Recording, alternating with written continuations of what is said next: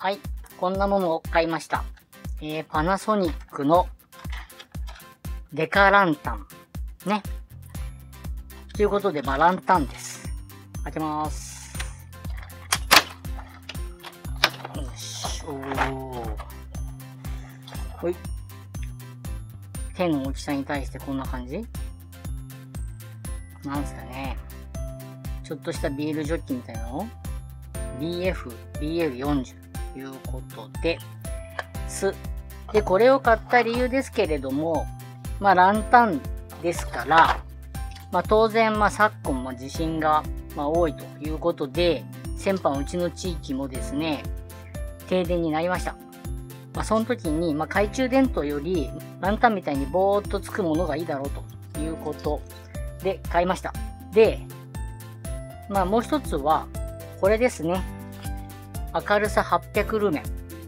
えー、っとね、乾電池式ライトで、えー、今のところ一番明るいということのようです。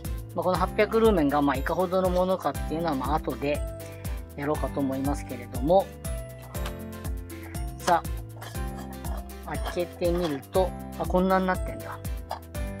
とにかくここに単一を3本入れるだけ。ね。で、ここにありますけれども、ポンポンポンってやるとつくらしいです。ということです。